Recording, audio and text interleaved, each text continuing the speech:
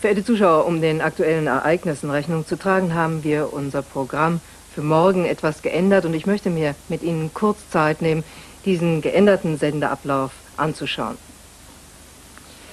Um 11.30 Uhr Deutschland im August, der zweite Teil des Filmtagebuchs, 12 Uhr das Sonntagskonzert auf Tournee, ein volkstümlicher Mittag. Um 12.55 Uhr heute, 13 Uhr Sonntagsnachtisch, zunächst das fünfte Kapitel der Geschichte vom Geheimnis des weißen Büffels und um 13.55 Uhr die Fraggles. 14.20 Uhr heute, um 14.25 Uhr eine Live-Reportage der Staatsbesuch Präsident Reagan in Bitburg. Von 16.20 Uhr an sieht das Programm dann wieder so aus, wie es ursprünglich geplant war.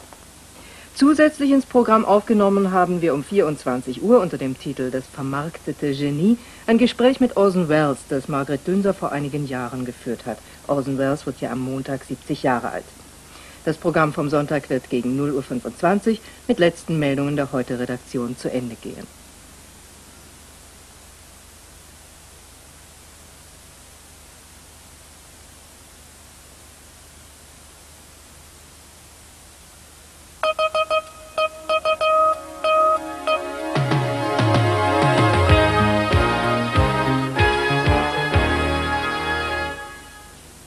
Guten Abend, verehrte Zuschauer. In Bonn geht zur Stunde der 11. Weltwirtschaftsgipfel mit einem Abschiedsessen zu Ende. Eingeladen hatte Bundespräsident von Weizsäcker in die Villa Hammerschmidt. Dabei unterstrich der Bundespräsident, dass die regelmäßigen Treffen der Staats- und Regierungschefs der sieben wichtigsten westlichen Industrienationen ein unentbehrliches Forum geworden seien. Daran könne die ganze Welt ermessen, dass diese Staaten die Kraft hätten, ihre Freiheit als Verantwortung für eine humane Welt zu nutzen.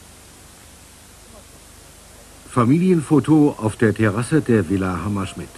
Zum Abschluss des Bonner Wirtschaftsgipfels hatte Bundespräsident Richard von Weizsäcker am Abend zu einem festlichen Essen geladen.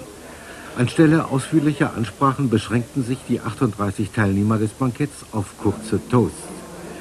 Neben den sieben Regierungschefs und den EG-Präsidenten gehörten zu den Gästen auch die Außen-, Wirtschafts- und Finanzminister und, soweit anliegend, ihre Ehefrauen.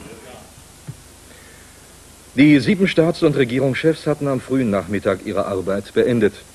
Sie konnten sich wegen des französischen Widerstandes nicht auf einen konkreten Termin für eine neue Konferenz über die Liberalisierung des Welthandels einigen.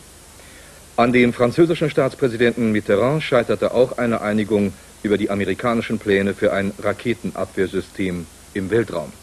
Paris will sich an dem Projekt nicht beteiligen.